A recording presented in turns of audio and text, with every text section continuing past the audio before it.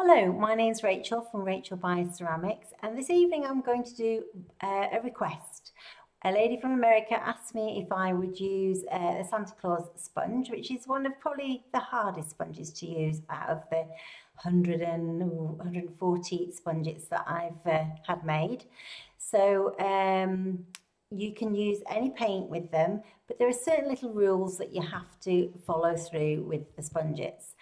First of all, the sponges um, are made out of high density sponge and they work better if they're slightly damp. Not too damp so that when you press they run, but just damp enough that they, they're not so dry because the bisque that everybody uses is very grabbing and very dry. So these are just slightly moist and then I paint usually with my finger, but if it's like the Santa Claus a, a fiddly piece, I paint it with a paintbrush. So I normally use a, a sable brush to paint uh, the, the sponges with, or just, like I say, my just my finger. And I pat it on or smear it on, but you don't need a lot. It needs to be flat to the sponge. If you've got it sticking out, when you put it to the bisque, it's going to smear like that. It's like putting a children's handprint down on your bisque when you've fill too much paint, you get the hand and a bit more, a shadow of the hand. So it's a, it's about controlling how much paint you use.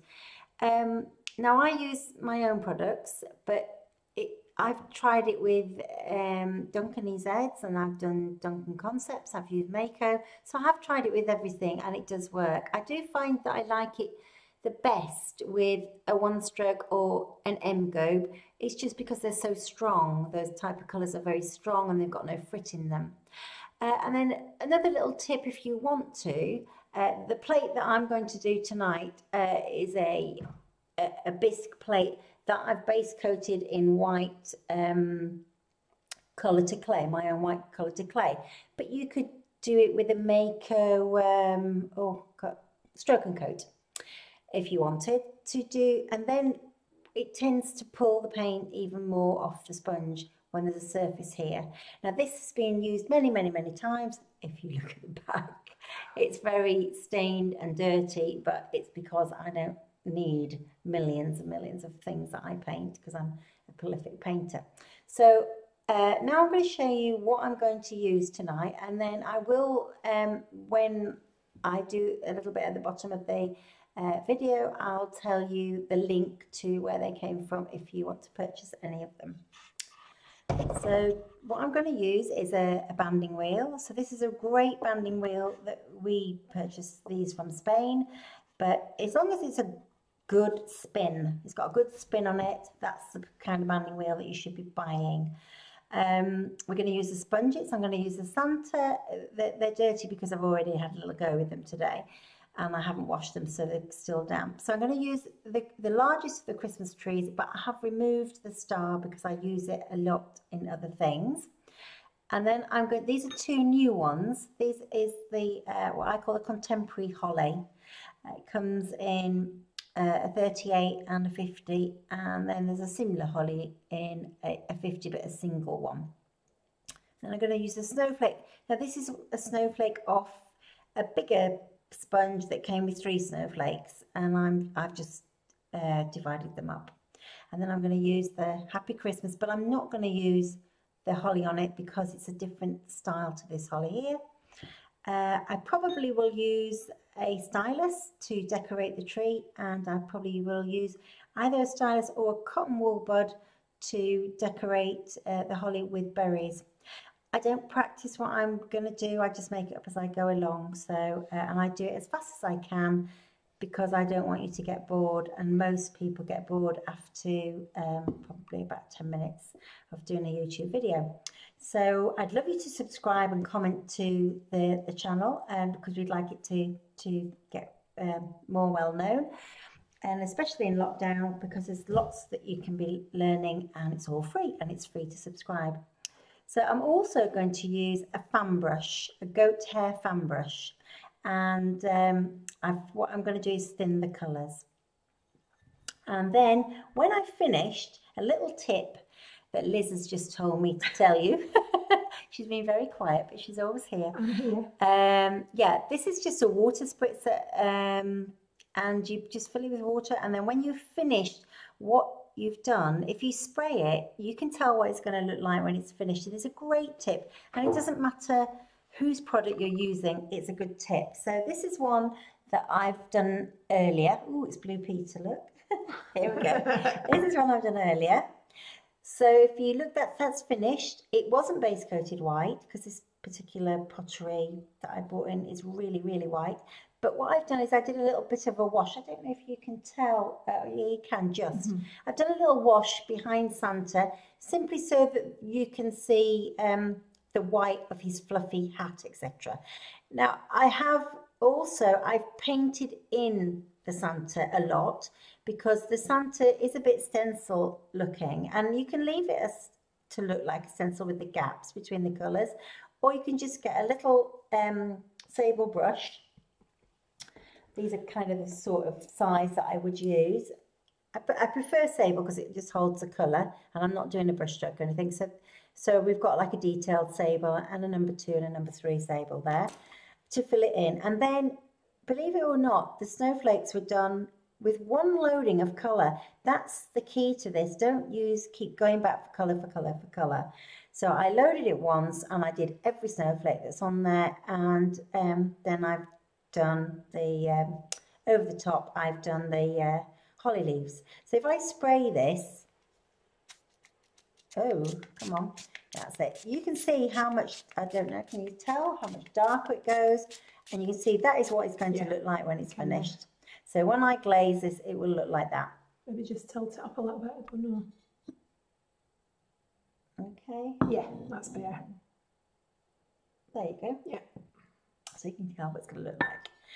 Uh, we swap places tonight as well. Liz is in my seat and I'm in her seat because uh, we found there was a lot of shadow. So behind me, you probably could see a lot of bisque, whereas usually you can't see anything. I'm in the boss seat tonight. She's in the boss's seat. Well, she's the boss, really.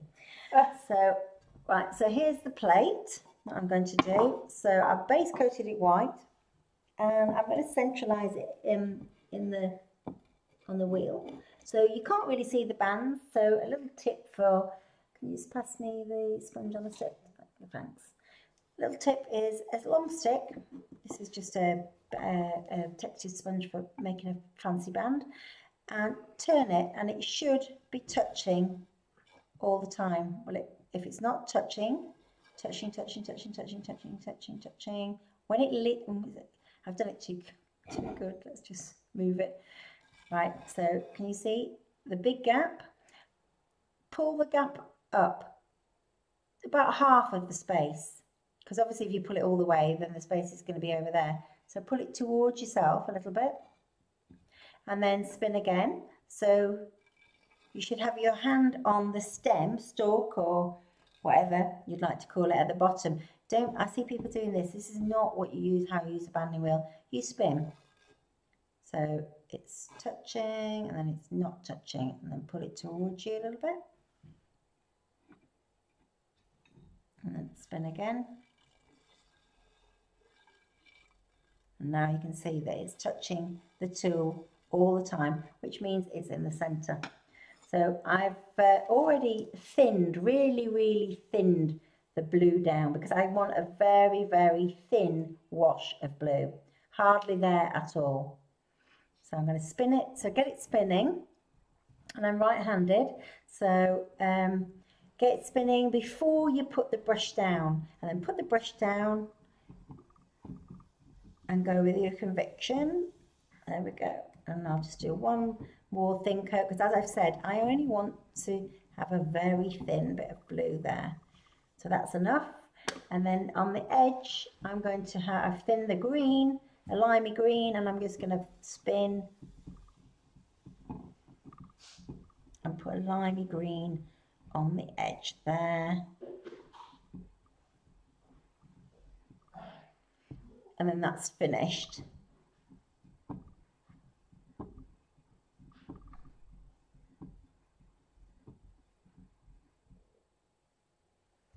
Okay and then I'm going to start to paint it. So I need it to be to be dry before I start to paint it. So I'm going to move this banding wheel away now um, because I don't need it anymore. Give myself a little bit of space. Here we go.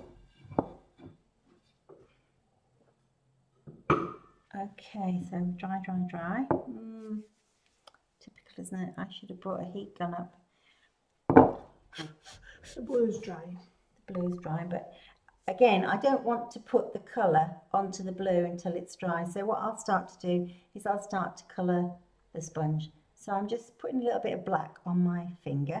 And as I said, I'm not going to use the, um, the holly because it's the wrong type of holly. The others, the, the little new ones are very contemporary, stylized if you like, whereas the one that's on here looks like a real holly bush. So I'm just tapping the colour on. I probably need a little bit more black on my little pile because I've already done a play already. And look, you see my, my magic is there. That's what's so great, having Liz here. I do these videos, plus it's more fun and there's two of you. So um, sometimes when you've actually sponged it, you might have to um, paint a little bit in. But just, you know, sort of check your sponge that you can see that it's all done. Little crumb there. Got all these little brown things that are coming off the, what is it, the Silver birch. silver birch coming through the window. We've been on the wheel all day today. So this was the first day since lockdown that I've had a customer in because I've been um, doing renovations. Well, and it's nearly finished. Upstairs it's finished, and downstairs it's probably halfway there. So, but it was it was there enough to do a one to one. Right, so let's have a look. That's enough. That that will do. So I'm going to put the uh, line this up quite high up. Pop it down. Give it a little push.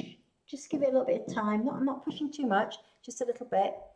Giving the the actual piece of base time to take the black off the sponge and then pull it straight up. Say a little prayer, that's not too bad. I might just fill it in a little bit um, later on. It's a bit shiny on, on the, the camera, I can see. And then I'm going to do my tree. So the tree, I'm having it all green. So I can put it straight into the sponge. Now this is not what, what not to do. Can you see, I don't know if you can tell, there's far too much paint. So if I show you, still trouble is it's a bit damp. I can turn it around. If I show you on the back, it's a bit a bit splodgy because there's too much paint. Okay, so it, oh look, I've made a but we won't worry because we'll put a holly there, holly leaf there. So we're going a happy to accident. a happy accident. So it's it, it it's you can see that it's actually absorbed into the sponge. And then I'm going to place it here next to Santa.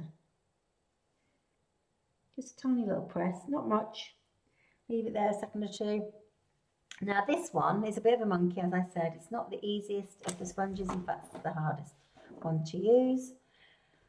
Um, but it's uh, probably easier than actually painting the Santa if you're not a big, um, big on artwork. So I've mixed um, a little bit of paint for his face. So I'm gonna... It's really effective, isn't it, once you've got it all painted? Just takes a bit of time to yeah to paint all the so bits. There's his little face, pink. and then we'll have a green sack. I probably shouldn't do it over the already plate in case I get it wet. So green sack and a green glove. And that's a green glove there. So you've really got to study him. I think I made him maybe a little bit too fussy. We've got another Santa Claus coming out in a little bit, which is a little bit different to this one. And then the white there. Now the white will show up a little bit. Um, I think I need a bit more white, Liz. Because, the... because I've done the blue background in the background, so there's why I did it. So I put plenty, plenty on, but let it sink in.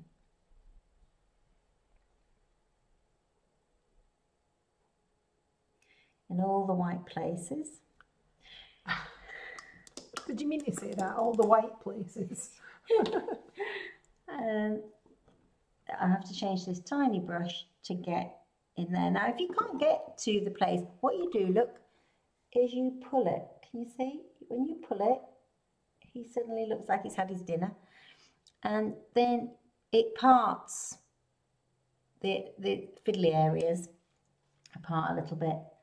And then we've got the red, so red on his trousers and his um, jacket and his hat. I can't remember if I did his bobble. I have to do it again because I can't remember. And then his his um, jacket again. And then his boots. So you see I have a little piece of paper on my lap so that my um, brushes aren't diluting the paint. There's this little belt. And then his little buckle.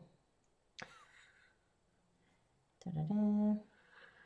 I wonder how many littles will be on this video. Oh yes, yes, sorry. Renowned for the sows and the littles. Lots of sows and lots of littles. Filling in, you know, whatever. So, um, so there you go, another, another so, and not and not even a drink in the house. So we can't. can't No, we've had a. What did we have earlier? a pretend gin A, a and tonic. pretend gin and tonic. Yeah, just the gin, not the no, just the tonic, not the gin. Yeah, and the lemon. Don't forget the lemon. Important to have a lemon. Oh yeah, we've had a lemon in it. There we go. And then we put him, we can pick the tree up now. Stuck. And then now we'll put little chap next to him, next to the tree. Little tap. And leave it there a bit. And now I'm going to start with the holly. So I can put put the holly, pounce it up and down, but just make sure that it hasn't got, too, it's not too much paint. And then just put these willy-nilly, and you don't have to fill your, your brush up every time. Oh, look, we have to get on that one though. And it, it doesn't have to have a hole. You can just do the bit of a leaf. Look, look how many leaves I've done without loading. I've gone all the way around with one load of colour. How about that then? That's un unbelievable. I wish I could sell them as fast as I could paint them. And then the little one as well. Just check it out that the but it's absorbed and it's there. Same one. Just put a few of those on.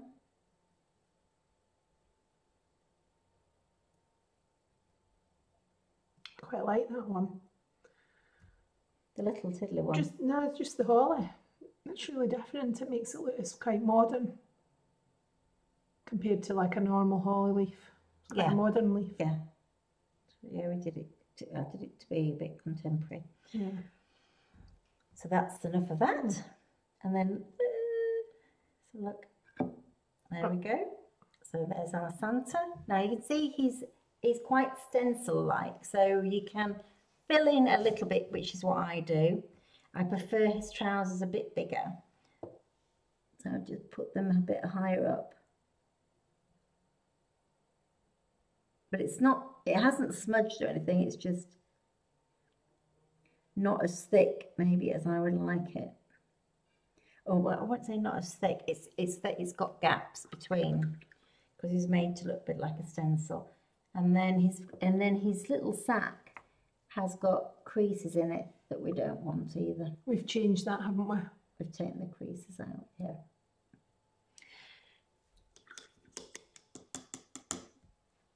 He's going to come in a bigger sponge, isn't he? I think.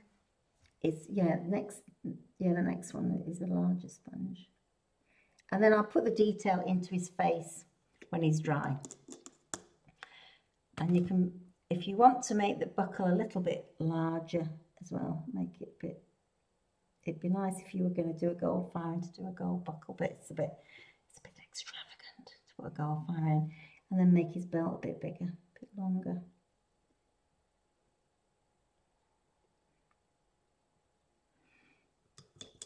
And a bit more snow on, I think. Put a little bit more snow here. And his hat, a bubble, and his boots. So we'll finish him off in a minute when he's dry and I will just detail with stylus the, the tree. This, this colour is opaque, so it won't show the colour underneath.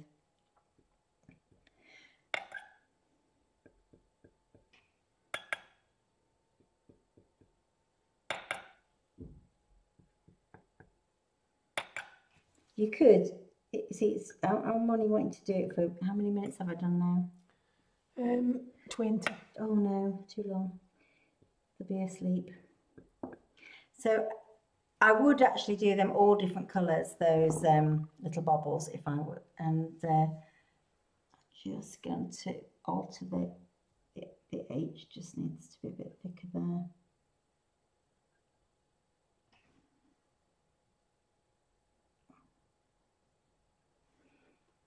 Okay. And then some little berries. Oh, some small berries, sorry. Tiny. Tiny, some tiny ones. Yeah, there I think the, the lady in America wanted to just see the Santa, but we thought, well, we'll make it into a, a whole project. And then you can have a little go at this, at your a little little. How many littles is that today? We have, I think we'll have a competition. That's what I was just going to say. We probably Let's have have a competition. How many littles has Rachel's done? Or oh, how many sows has she said? so when you think you've done enough tiny berries, if you, I usually, if I, if you put your little finger down Oh God, no, no, please. Oh, no, another little. If you put your finger down, it'll make you balance. And then you can be quicker.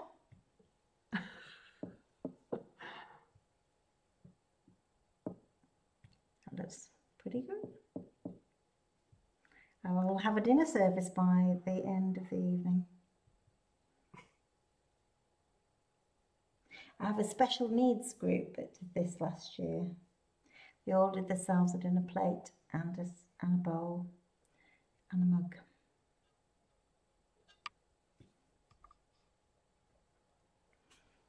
And then detail his You've little one missing. Oh, that little one at the Oh. bottom. That little one. It's catching. it is catching. And then tiny little liner, well, detail tiny little liner. God, here They're saying, oh dear, this lady never stops saying little. And give give Santa some features. You can have a little little rosy here and there, another little, a little, another little. You can have a small mouth. Santa got a little sack. Yeah, full of little presents next to a little tree. And his little reindeers. Actually, I'm going to. I, I, I didn't. I couldn't find my star because I've pulled it off, so I'm just going to give it one. A little star. There we go. There we go. And you can band that if you wanted to. Um, with a banding sponge it would probably look quite nice. Or you might want to try using the uh, the frosted little. Oh God! Please don't say little again. Just give it a little tap. Another little tap on the edge. You should really wait for it to dry. It's not dry because it, it might mix mix the paint. Go on then. a little bit. Just a little bit of paint, please. This is a great tool for kids if they've not got the um, what's the word? Confidence or skills. Or dexterity with the hands, yeah, Yeah. skills to to use. Well, Actually, I quite like that. It's a great tool for adults, never mind children. Yeah, you think, yeah, like, naughty girl, stop doing that.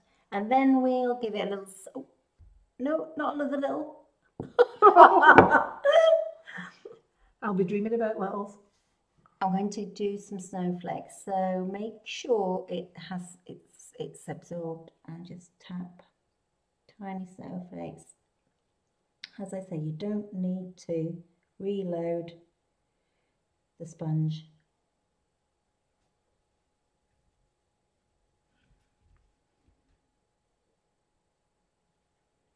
There we go. And voila, done. Oh, actually, I might just spray a little bit more grey, another little. Oh, for goodness sake. I'm gonna grey his beard a bit more. It's not, it's not grey enough. There we go. I'll do. Oops, very wet. Voila. Okay, turn it round like that and give it a little spray, another little there. you know, I think it'd be quite hard to listen and count. How many littles? Yeah, we could do that. Well, I'm going to get a little piece of paper next time at the side and I'm going to mark it down every time you say little. we'll, have a, we'll have a competition. There we go. Done. Voila, finished. Anyway, I hope you've enjoyed that not so little video. and I'd love you to subscribe and comment at the bottom. And if you can count how many littles I've said, well, we ought to make up a prize. Yes. we'll think about that. We'll maybe put it in the comments. Anyway, I hope you watched this one, and now we're going to go and make another one. But thanks for watching. Bye for now.